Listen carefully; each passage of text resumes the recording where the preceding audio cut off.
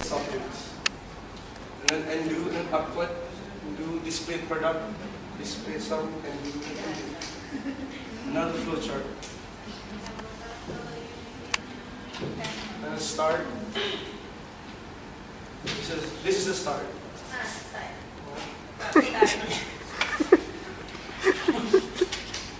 Then the installation, set pizza slices, set fries, and goes on.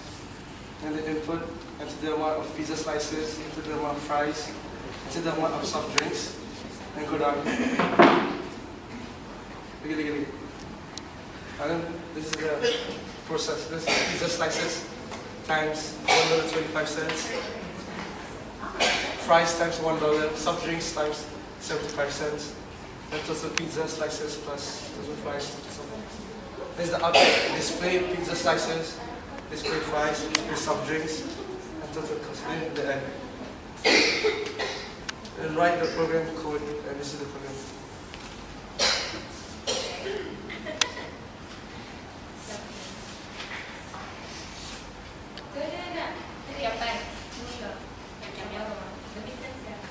Sería